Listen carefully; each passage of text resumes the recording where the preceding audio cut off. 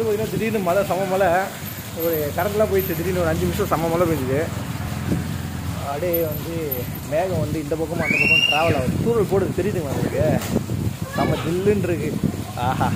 தன் கல் வண்டி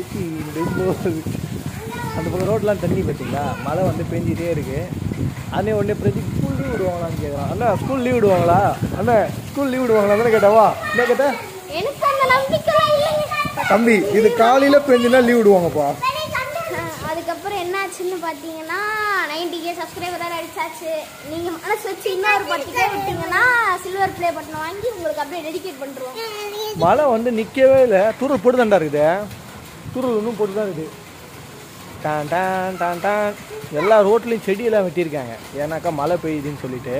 ஆனால் அந்த அளவுக்குலாம் மழை வரலங்க. சும்மா ஒரு தூரல் அடுத்த ஒரு போட்டு போட்டு போகுது உங்கள் ஏரியாவில் யாராக்கா மழை பெய்யுதுனாக்கா கமெண்ட் செக்ஷனில் கமெண்ட் பண்ணுங்கள் ஏன்னா எப்படி மழை என்னன்னு சொல்லிட்டு எனக்கு சொன்னீங்கன்னா நம்மளுக்கும் தெரியல எந்தெந்த ஊரில் மழை பெய்யுதுன்ட்டு.